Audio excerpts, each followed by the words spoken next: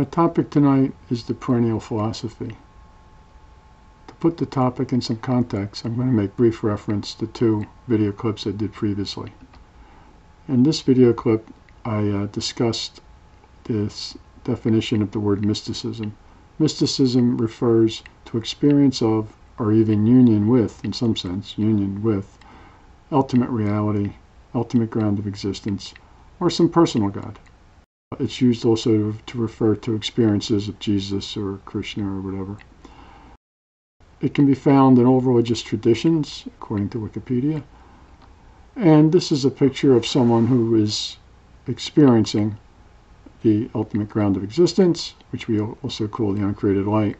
And I mentioned in another clip how the idea of uncreated light occurs in the Eastern Orthodox branch of Christianity. So, I first encountered the idea of the perennial philosophy in a book written by Aldous Huxley. And uh, Mr. Huxley was uh, widely uh, acknowledged as one of the foremost intellectuals of his time, according to Wikipedia. He had an interest in philosophical mysticism, and he wrote the book The Perennial Philosophy in 1945.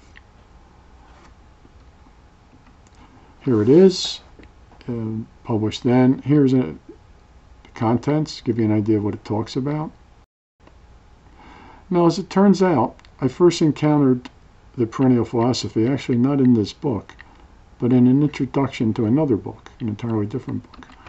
Now, this this book here is uh, talks about, or is a translation of a Hindu scripture, but it has an introduction by Aldous Huxley, and in that introduction, he gives a nice, concise summary of the perennial philosophy. So I'm going to reference that introduction to discuss the perennial philosophy rather than the book he wrote of the same title. So here's how the introduction begins. The author is uh, saying that what he calls the perennial philosophy has, he can find traces of it, let's say, in Vedanta, which is a Hindu philosophy, Hebrew prophecy, the Bible, this is a Chinese scripture, the dialogues of Plato, the Gospel according to St. John. This is the branch of Buddhism. Plotinus lived around 400 AD. He was a disciple of uh, or a follower of Plato. This man has an interesting history. He was thought for centuries to be a direct disciple of St. Paul, but eventually it was discovered that his writings were dated from about, I think, 300 AD. Persian Sufis, they're Islamic mystics. And so the perennial philosophy has, according to Mr. Huxley, been an element of all these different religious traditions. And he says that under this confusion of tongues and myths, we can find a highest common denominator. So he is saying that this is something that these religions have in common. He goes on to say that to know it in its fullness can only be achieved through contemplation, not through any verbal statement. And we'll see this point. He returns to this point again. And he's claiming basically that the people who have had mystical experience, that their records of whatever religion they happen to be a part of, show a commonality, that they are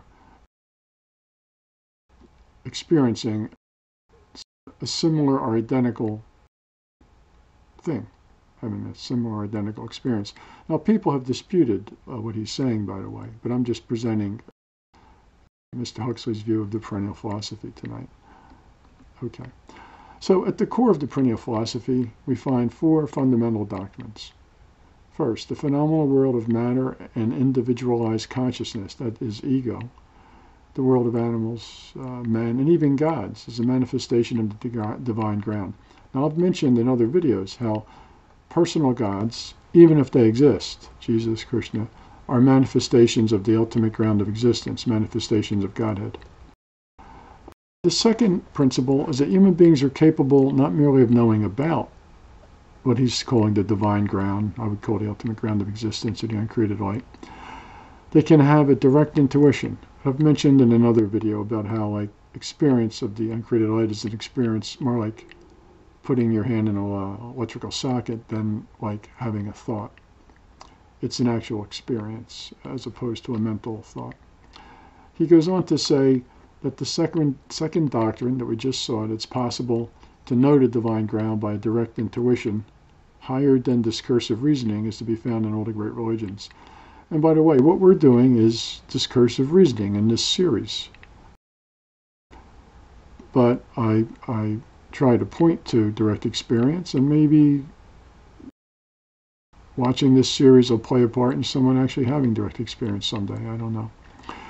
He goes on to say that uh, Buddha and Muhammad and wh- whoever have basically said the people who just are willing to philosophize and not try to experience are uh, a herdsmen of other men's cows or whatever. Okay. Now, the third doctrine is that we possess a double nature, a phenomenal ego and an eternal self. I want to just stop for one second. I mentioned in another video how the ultimate ground of existence can be called our eternal self, but on the other hand, it's not particular to me. So if I'm I uh, consist of body, emotion, intellect, and consciousness, and if consciousness is identical, let's say, with the ultimate ground of existence, then my consciousness is no different than yours. It's as if we both have a drop of water. So it can be called myself, but it's perhaps since self is capitalized, it might be called the self of the universe, the uh,